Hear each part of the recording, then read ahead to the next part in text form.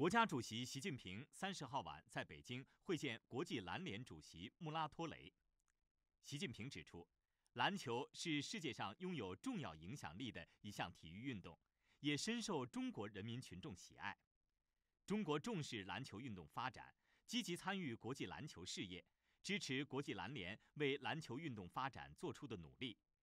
相信本届篮球世界杯一定会办成一届令人难忘的精彩体育盛会。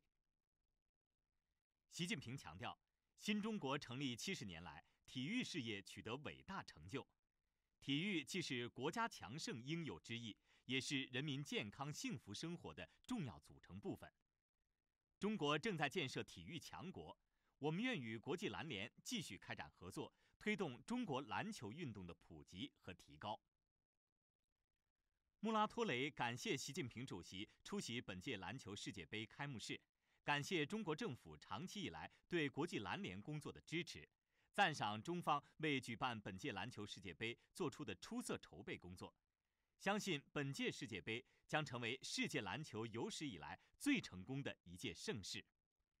他表示，国际篮联重视同中国的合作，愿为促进中国篮球事业发展做出贡献。丁薛祥、孙春兰、杨洁篪、蔡奇、王毅等参加会见。